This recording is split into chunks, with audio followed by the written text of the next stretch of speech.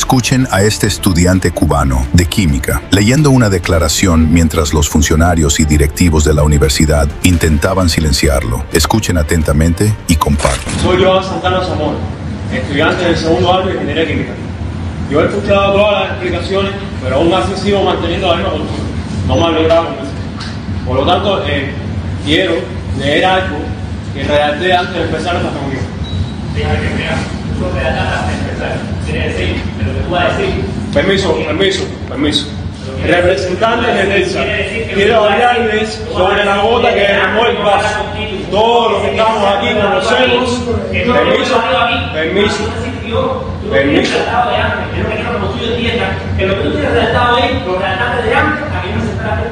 Sigo manteniendo la postura y quiero expresar mi opinión. No puedo.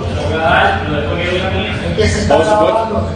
Por supuesto. No, para que no malinterpreten después lo que estamos haciendo nosotros. Dejar constancia de mis palabras. Representantes de Mira, TELSA, no hay periódico, todo el respeto, quiero hablarles sobre la gota que derramó el vaso.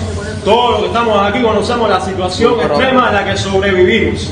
Todos vivimos en carne propia los apagones de 20 horas. Los salarios que no cubren las necesidades más básicas y el sentimiento de que cada día es una pelea contra un sistema que no soluciona. Y ahora Tesla, y sin debido aviso, nos sube las tarifas y nos quita lo que nos hacía escapando a la realidad. Nos quita el acceso a la poca información que teníamos. Nos limita el estudio y a conectarnos con nuestros seres queridos afuera. ¿En qué momento se normalizó que el pueblo cubano siempre tenga que aguantar más?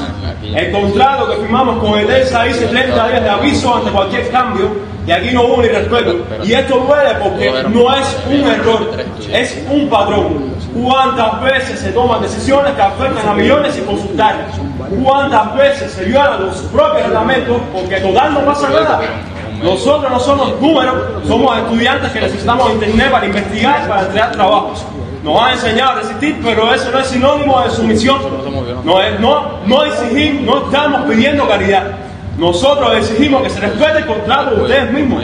Nosotros exigimos el revocamiento de las medidas. como tal que están consumiendo activamente con ustedes no es importante y que además señores tenemos que perder la lógica cubana del yo te raciono las cosas y tenemos que aguantarlo no puede ser ya estamos cansados del racionamiento y además racionamiento que cada vez se va desapareciendo. Porque en la libreta todos los días ya no te vienen las cuatro libras. De arroz yo sé que Telsa no tiene nada que ver con eso, pero entiéndame lo que les quiero decir. Ahora hay que aceptar que tú solamente te puedes poner 360 pesos en el móvil teniendo cuenta bancaria, teniendo un, eh, un negocio eh, no, no por la izquierda como se dice en el mercado negro, sino que tú trabajas para el sector estatal, trabajas para el sector estatal, tienes tu cuenta bancaria, tienes tu línea, tienes absolutamente todo en regla y te limitan. Eso va en contra de las libertades individuales.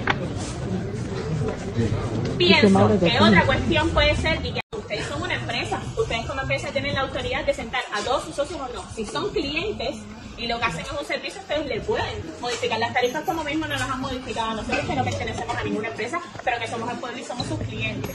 Esa es una de mis dudas. ¿Por qué motivo no se puede? Lo otro, ¿por qué no se hace una recarga a estas empresas del sector estatal y también del sector privado? Por ejemplo, que una de las medidas abrir un negocio, un emprendimiento, que tengan una o dos líneas oficiales, recarguen a esas una o dos líneas oficiales, que bastante marketing que están haciendo en un montón de lugares donde cuesta mil pesos tomarse un café y que son lugares, y ojo, y digo aquí nombres, Fangio, por ejemplo, un negocio privado, cubano, tal.